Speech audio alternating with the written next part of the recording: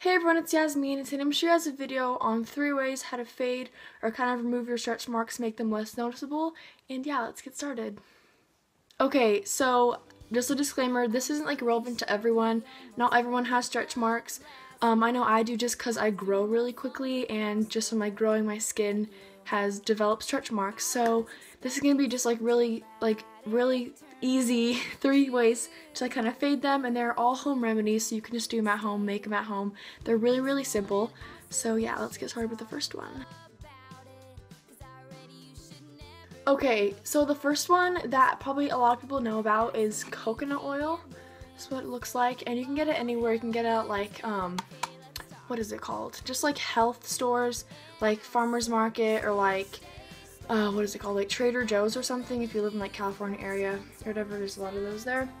So, um, this is just regular coconut oil, and coconut oil is really, really good for a lot of things. It's good for your hair, it's good for your body, just because it's a really good, like, moisturizer, and it's also good for like fading your stretch marks. So like every night or something just like put this on your body or just wherever you stretch marks and it will slowly start to fade them and make them less noticeable especially the purple ones. Because if your stretch marks are purple then those means that means like the new ones. So that will um those will be easier to fade. And if they're white then those are kind of the older ones you've had for a while. And you can still fade those but it probably takes a little bit longer since they've already kind of been on your body and yeah, so the first one is coconut oil, and this is pretty much anywhere you can get it anywhere. Um, this is the naturally refined oil, but the one, you don't want to get the one that's refined. I actually got this one by accident, but it works as good. You can get it like Sally Beauty Supply, um, just anywhere. So that was the first one, so yeah.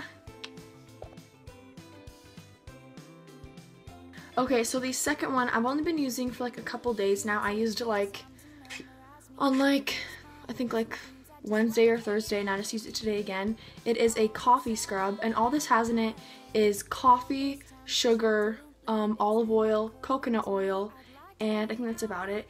And then, yeah, it's really good because you can lather all of your body. You're just like, okay, wet your body first or whatever you want to do. And then um, put this all over your body or on like your stretch marks. I put it all, all over my body and then leave it on for like five minutes. And there's like a, not like a dupe, but like I got this idea because um, there's like the Frank uh, scrub stuff you can get, which is from like Australia or whatever.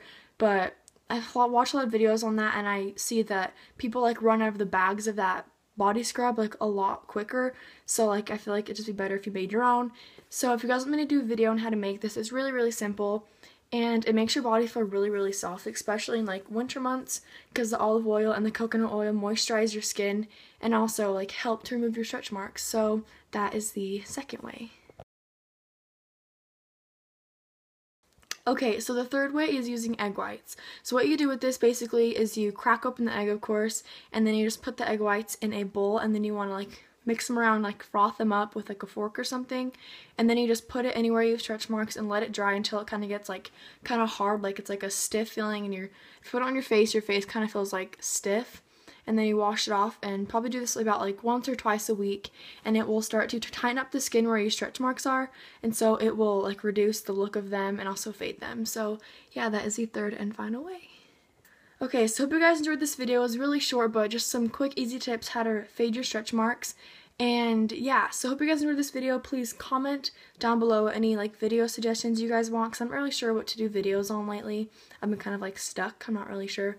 And also, please subscribe. That'd be lovely if you did. Subscribe wherever that button is. I don't know. Okay, so hope you guys enjoyed watching this video and see you guys in the next one. Bye!